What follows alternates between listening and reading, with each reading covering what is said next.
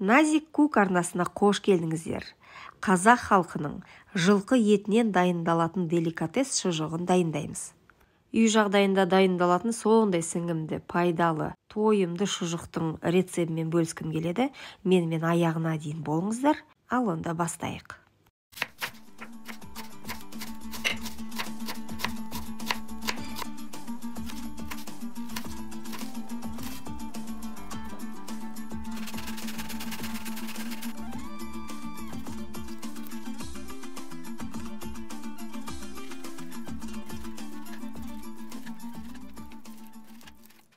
Мінекей шұжығымызды дайындау үшін барлығын майдалап турап алдық. Ет тартқыштан етімізді өткізіп алдық.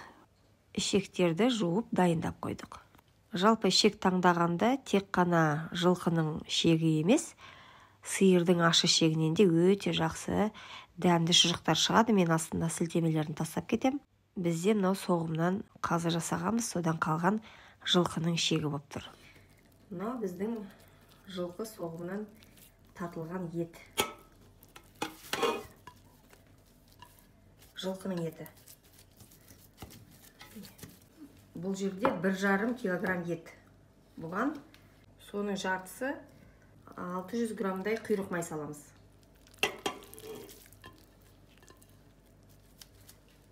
Қанша тартылған ет болса сонша пияз саламыз.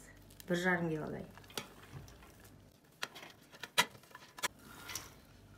сарымсақ үккіштен өткізіңіз немесе майдалап тураңыз 200 миллилитрдей сұйық май құйыңыз жидкий дым екі ас қасық қызыл ащы бұрыш бір ас қасық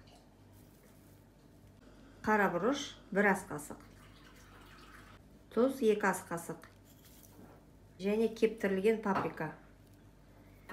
Бір ас қасық. Осыны дұрыстап тұрып араластырамыз.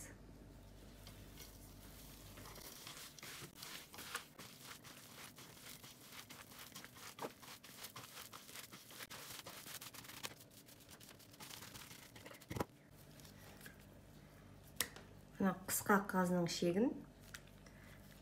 Мына жерін былай байлап аламыз. Екі қайтара.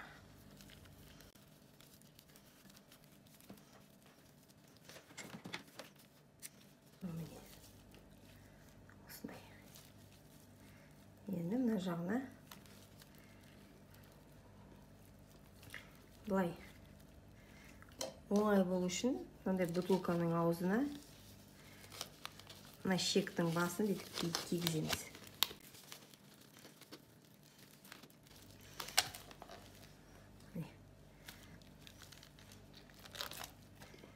ал енді өстіп аламыз да фаршымызды тығып сондай бір қасықтың басын алып алыңыздар оңайырақ қылу үшін бүйтіп бүйтіп бүйтіп тығындап ал өту жағы қиындап жатса кішкене бүйтіп сүт құйып араластырып жіберсеңіз болады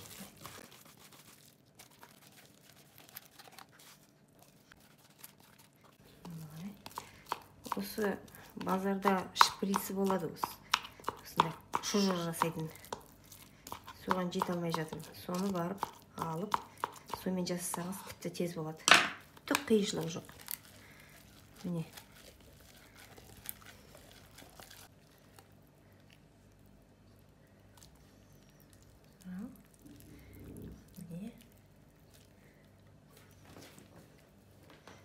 Нажалды. Байлаймыз.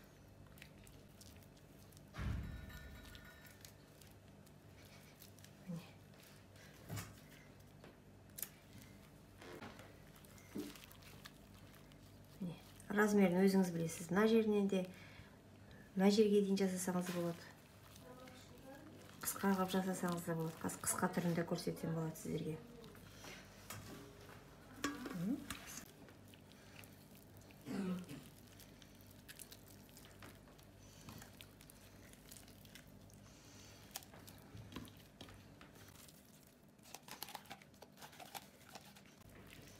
Ұзындығы мынандай болсын жарайды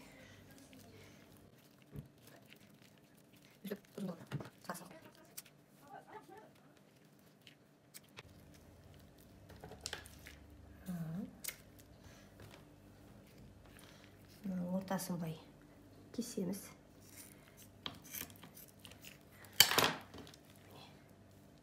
қандай әдемі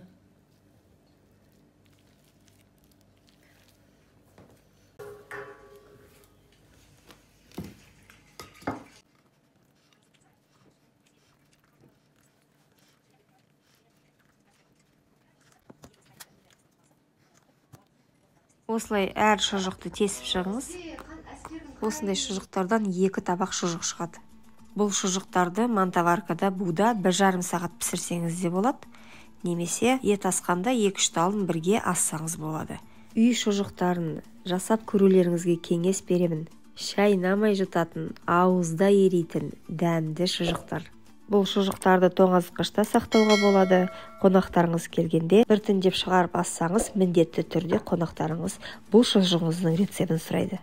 Пікір жазып тіркеліп кетуді ұмытпағайсыздар. Астарыңыз дәмді болсын ағайын.